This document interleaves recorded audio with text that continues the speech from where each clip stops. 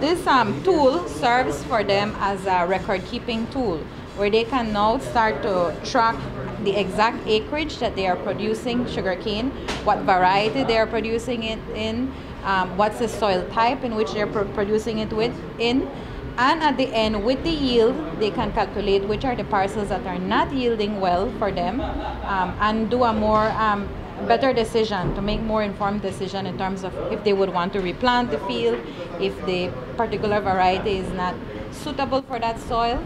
um, sugar industry stakeholders see the bigger picture which is the benefit in terms of seeing for example what type of sugarcane varieties do we have out there? Um, and for now, I can tell you that our first initial sur survey has showed us that we have one particular variety with over 67%, which is not too healthy for the industry. But what we would want to now do with this program is to monitor the yield and if and, and, and to know um, where are those varieties that are not producing um, as, it, as expected.